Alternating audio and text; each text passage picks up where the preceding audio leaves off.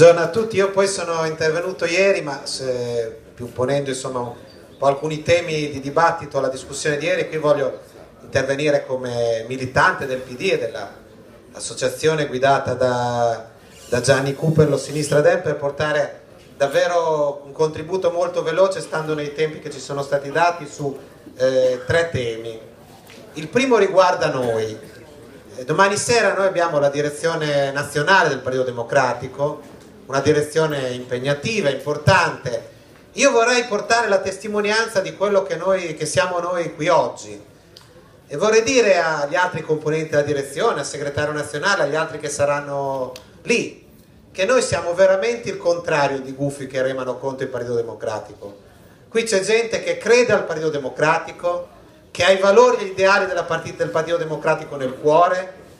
che al Partito Democratico dedica sacrificio, impegno, tempo, passione e che rappresenta un valore aggiunto per il Partito Democratico,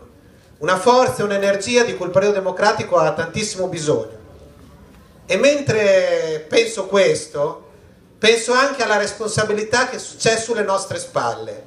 di chi nel Partito Democratico rappresenta i valori, l'identità della sinistra ed è anche riconosciuto dal popolo che si riconosce in quell'identità e in quei valori. Perché vedete, sarà perché io ho fatto il sindaco di Marzabotto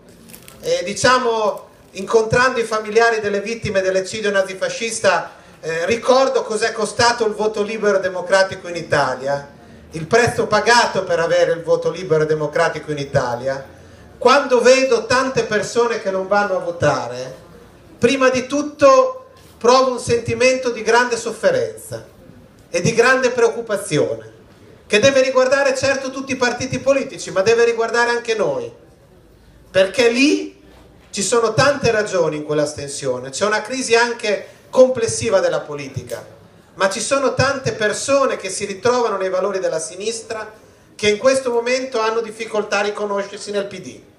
E mentre noi dobbiamo chiedere a chi guida il PD di fare sentire tutte quelle persone a casa nel periodo democratico,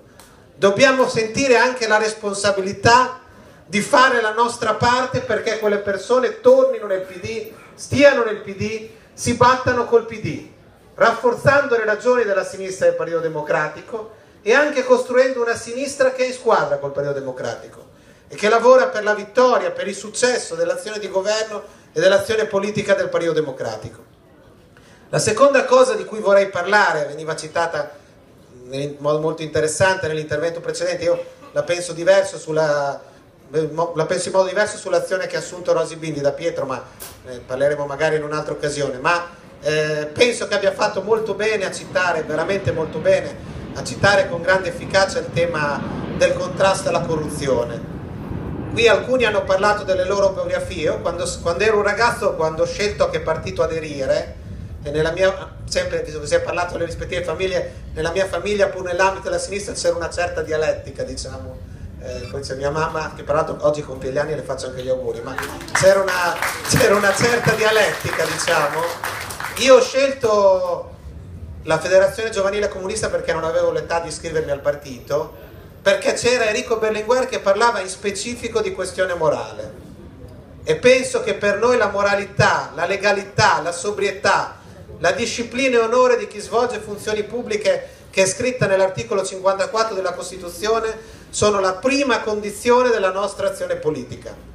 Allora ha fatto benissimo Paolo Calvano nel suo intervento molto bello, che ho apprezzato molto come quello di Bonaccini, mi fa anche dire che abbiamo fatto bene a sostenere Bonaccini presidente, Calvano segretario regionale in un lavoro unitario in entrambe le occasioni, che poi ha portato anche al fatto che sia stato eletto un bravissimo capogruppo come, come Stefano in presidente del Consiglio regionale. Dicevo che ha fatto bene Calvano a ricordare cos'è il PD, perché noi siamo anche i sindaci minacciati dall'andrangheta in Calabria, siamo le persone che sono in prima fila nella lotta ai poteri criminali, siamo anche il partito che ha avuto il coraggio di commissariare Roma e di azzerare il tesseramento. Però quello che è successo per esempio con Mafia Capitale anche nel PD eh, non lo possiamo solo affrontare ricordando i nostri meriti.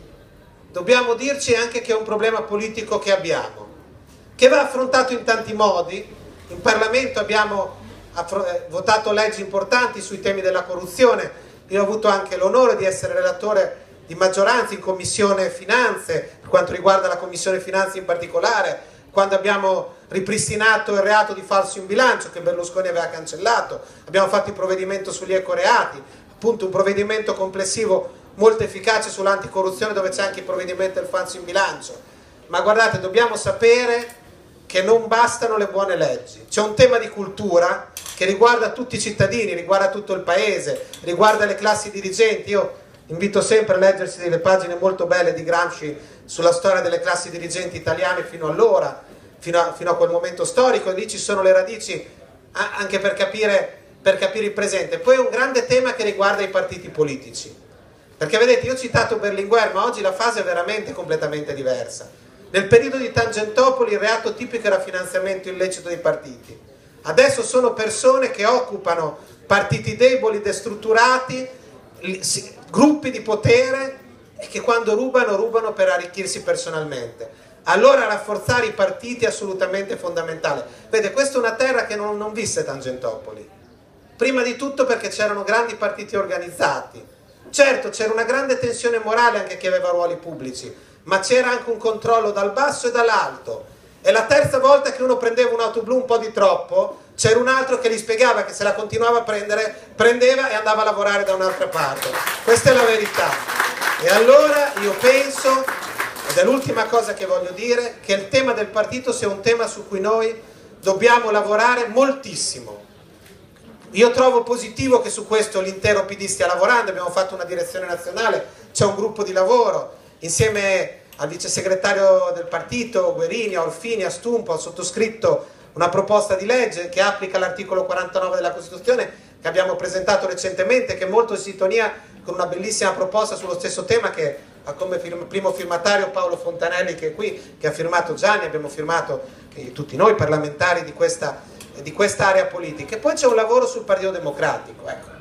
Radicare e organizzare il Partito Democratico è fondamentale per la democrazia italiana. È il primo modo per contrastare i fenomeni di degenerazione ed è il primo modo per rendere anche più forte l'azione di governo, facendo anche un discorso sulla nostra identità. A me è piaciuto molto come l'ha spiegata Calvano, mi pare che ci sia un'evoluzione positiva in questo senso del dibattito del Partito Democratico perché vedete, se intendiamo partito della nazione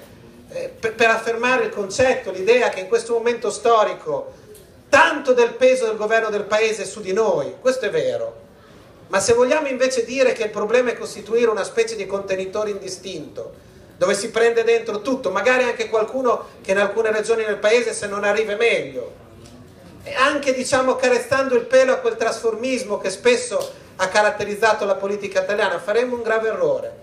Noi dobbiamo costruire un grande partito della sinistra italiana europea dentro il PSE che non si mette limiti a una battaglia di egemonia nella società italiana, che conquista elettori nell'altro campo, che guarda a un grande schieramento di centrosinistra e al portare dentro di sé le forze e le energie del centrosinistra, ma che si misuri con la grande sfida di costruire una sinistra moderna di questi tempi che, affida, che, affida, che affronta le sfide di oggi ma con in testa il grande tema della giustizia sociale, che ha sempre caratterizzato la sinistra. Perché vedete, l'ultima veramente brevissima cosa che,